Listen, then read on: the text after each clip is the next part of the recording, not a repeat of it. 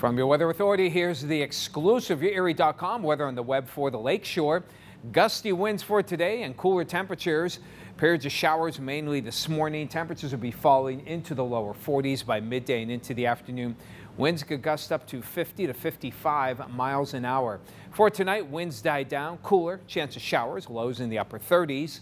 And from your Weather Authority, uh, we'll have some sunshine for tomorrow after some early clouds, highs in the mid 50s.